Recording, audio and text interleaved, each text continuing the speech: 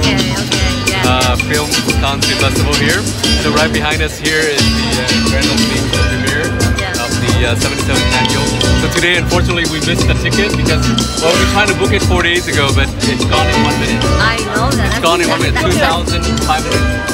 That's unfair. That's But anyways, we booked it for tomorrow already, so tomorrow we get to see the film again, Yeah. and then uh, get to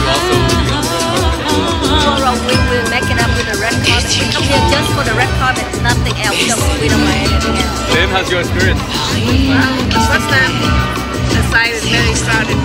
Next year we will be on time, okay? So they have about 35 to 40,000 people.